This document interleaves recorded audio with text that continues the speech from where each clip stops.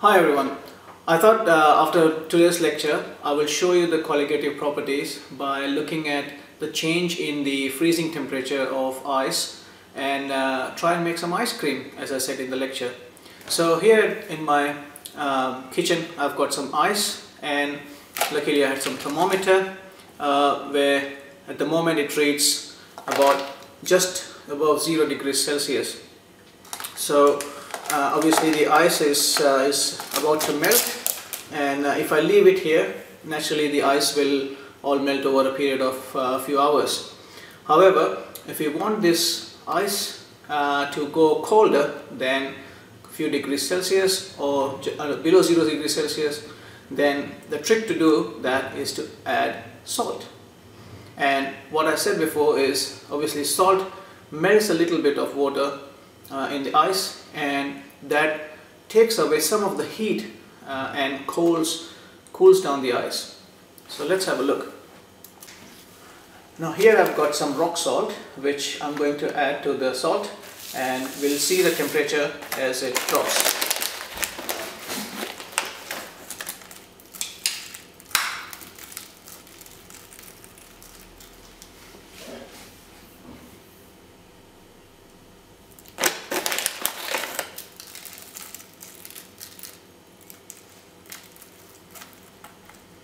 and give it a good mix.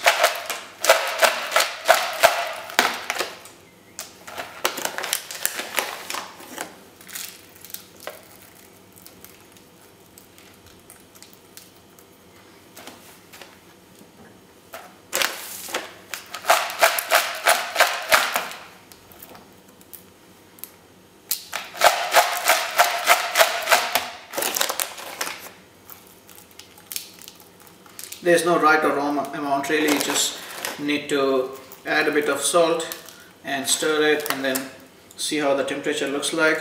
If you don't get cold enough just add a bit more salt. Okay now I'll stick my thermometer in again. Let's see what happens to the temperature.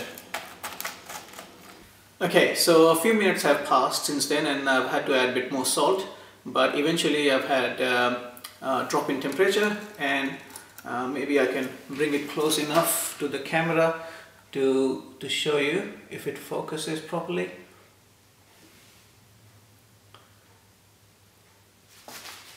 Okay, so hopefully from there you might be able to see it's uh, just about minus 10 degrees Celsius now. And if I leave it there, hopefully it will drop one degree or so more.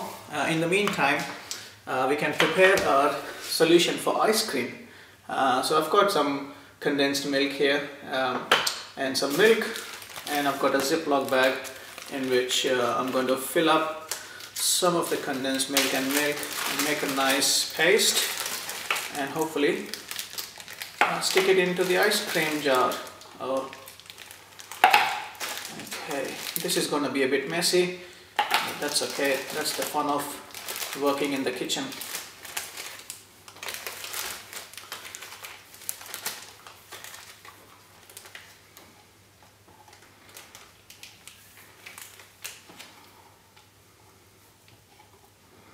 Okay, unfortunately I didn't have cream at hand.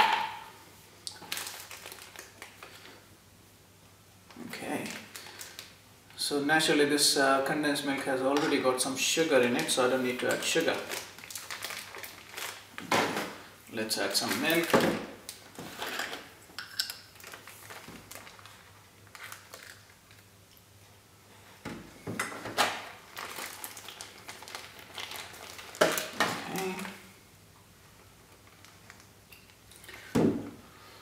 You can use uh, cream obviously to make it nice ice cream. Okay.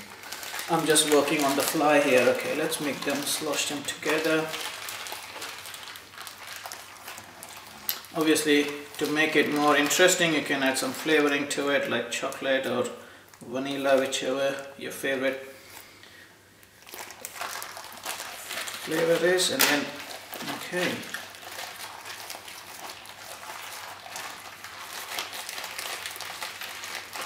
that's it nice sticky mixture.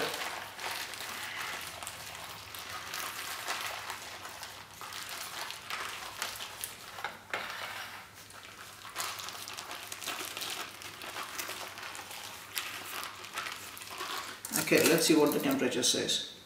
Hurrah, it's gone down to minus 15. Okay, so let's make some room for this to go in.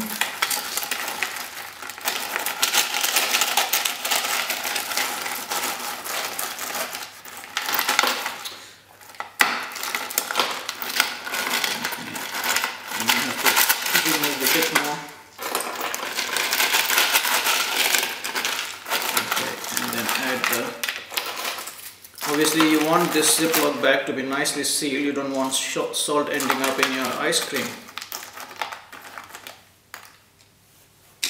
Okay, now it's just about ready. Now you might want to keep stirring it or gently shake it to keep it well mixed and wait for some time to freeze it.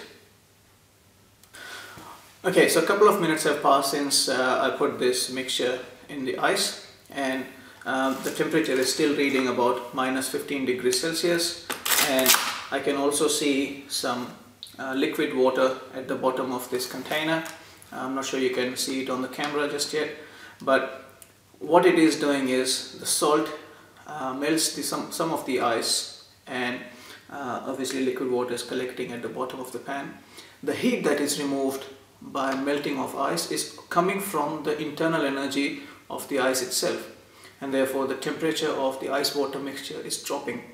And at the moment you have the salty water at the bottom and salt and ice mixture uh, in solid form and they are uh, some, somehow in equilibrium at a temperature well below 0 degrees Celsius whereas liquid water should not exist as liquid when it is below 0 but now because the boiling point has oh, sorry the melting point has dropped uh, the liquid water can stay as liquid below 0 degrees Celsius. Okay, hi again everyone. Uh, it's been uh, 35 uh, minutes or so since I've uh, put this mixture in the ice and it's time to take out and see if uh, we've made some ice cream.